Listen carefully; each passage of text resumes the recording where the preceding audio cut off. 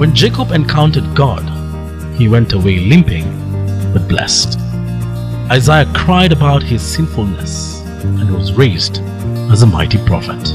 Abram's destiny was altered from a desert nomad to the father of nations. Encounter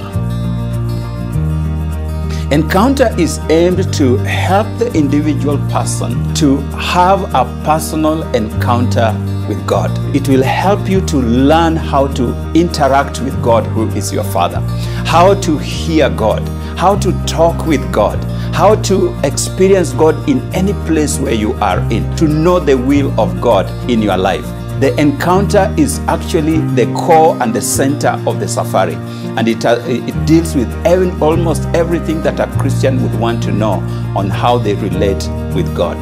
It's time to experience God like never before. Encounter the call